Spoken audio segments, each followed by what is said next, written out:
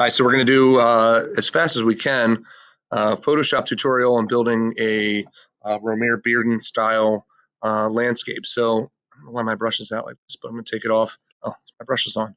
And um, first thing I'm going to do is just with my rectangular marquee, um, I'm going to establish, you know, some sky area, pick a sky color for my foreground, and I'll just take my paint bucket and dump that in.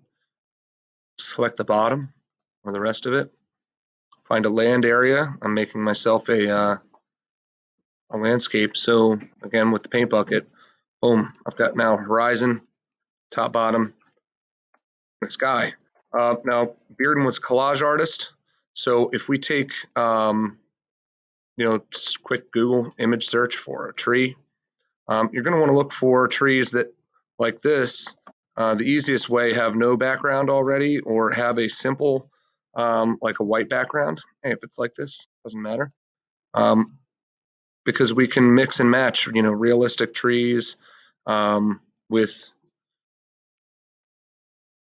some graphic style trees like this one.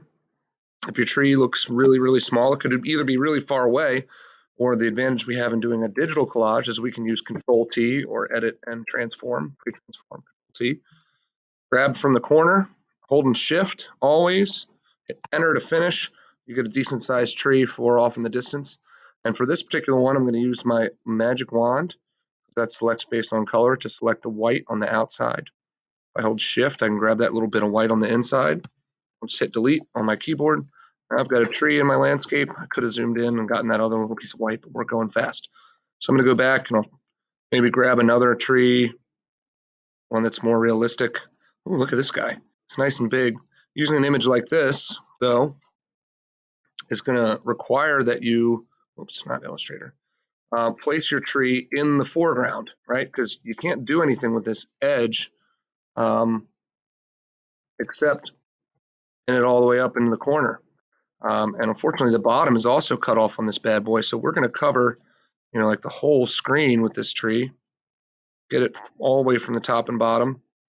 Um, and then yeah. I'm going to use, um, much like a, a scissor might, my polygonal lasso tool, take this tree and cut it out from its background this way by just selecting it. I'm going to do this kind of quickly.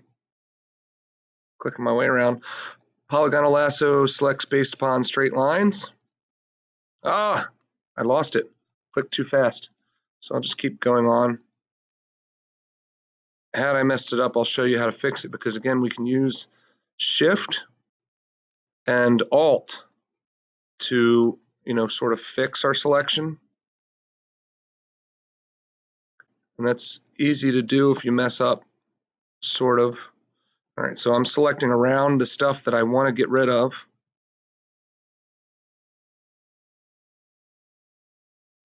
Let's see you know, if I if I accidentally come out here and, and, just to make it obvious, like that, I have a part of my selection that's bad, right? So in order to add to this selection, because I've selected the part I want to delete, I'm going to hold Shift down. Notice that my lasso tool now has a plus sign next to it. I just want to go around that whole area, close this back up, and I can hit delete. Look at that. All that stuff is right there.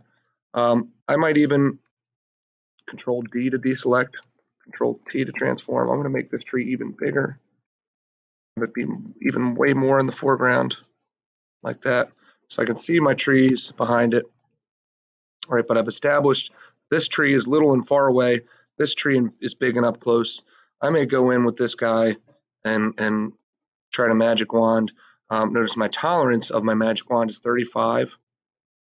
And um, I believe this is the button for contiguous. It used to be just called contiguous. Let's try this. Yeah. So what contiguous means, if you think like the contiguous United States are the ones that touch each other, you know, not including Alaska and Hawaii.